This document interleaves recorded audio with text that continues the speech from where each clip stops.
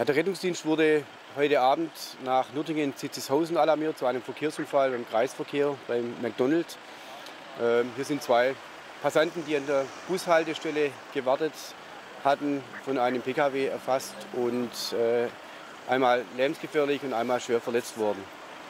Es war so, dass die äh, rettungsdienstlichen Kräfte sehr schnell vor Ort waren. Wir haben unmittelbar mit der Versorgung der Patienten angefangen. Es kam noch unser Leiter Notarzt mit dazu und beide Patienten wurden jetzt in zwei Schockräume hier im Landkreis Esslingen in die Kliniken verbracht. Ja, für uns ähm, macht sich das Bild auch jetzt erst äh, äh deutlich, nachdem alle Fahrzeuge weg sind. Ähm, ist offensichtlich eine Bushaltestelle, wo der Pkw ähm, eingeschlagen war oder durchgefahren war. Also der Rettungsdienst wurde primär gleich mit zwei Notärzten und zwei Rettungswagen alarmiert. Es war bei der Notrufmeldung auf die Leitstelle auch schon bekannt, dass es sich um zwei Verletzte handelt.